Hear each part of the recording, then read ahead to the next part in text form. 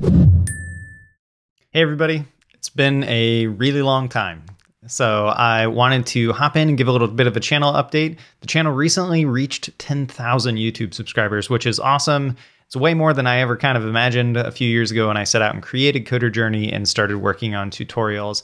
But obviously, you haven't heard a lot from me recently, so it's nice to be able to celebrate that, like, hey, we reached this number, but I want to get back to releasing some content. So I wanted to let you know that I will be coming back to actually start releasing videos again. They probably won't be the same tutorial style that they were in the past because as it turns out that's like not necessarily the most useful thing to everybody i really like to make those videos so i'll still continue to do those on some niche topics or kind of working through problems that that i think are sort of interesting but I want to pivot some of the resources that I'm creating more into being a what is a particular concept or particular piece of technology and how does it work and why is it useful to me and those kind of things. And I have a few videos on the channel already that are like that. So we have what is Kubernetes and also what is Docker.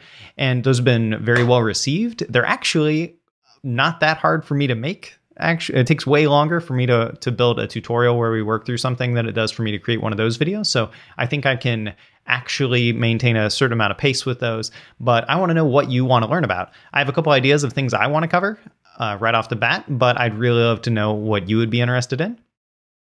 I am able to come back and do these with the support of Linux Academy. So if you don't know, I was hired by Linux Academy last year sometime and I started making courses for them full time. I've released four or so courses up to this point, covering topics from Python to Nginx to Chef.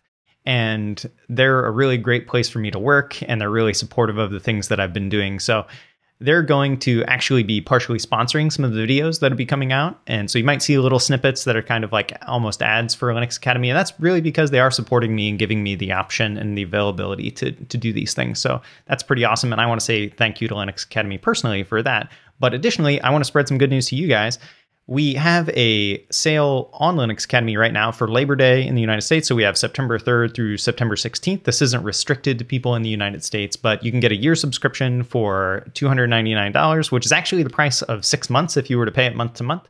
And this can renew at that price too. So these things are grandfathered in. We actually have some students at Linux Academy who have been students for a very, very long time. And every time that the price has ever gone up, which hasn't been that many times, uh, they've actually been grandfathered in at their old price. So this is a really great deal, and we don't really do too many sales, and I don't know that we're going to be doing too many sales moving forward. So if you would be interested in seeing some courses from me that honestly I would charge probably a hundred bucks, $150 per course for the things that I've created myself, but you get all of the content that I've created for Linux Academy, in addition to all the great content created by the rest of the training architects on the team, which there are close to 30 of us, I think.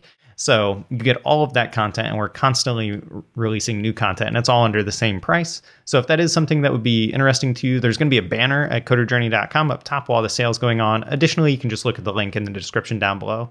Once again, I want you to comment, tell me what you would like to learn, how it works. So I'm going to be doing the what is blank and how does it work. So I want to know what you want me to talk about. Leave that in the comments down below. And once again, just thank you for all the support.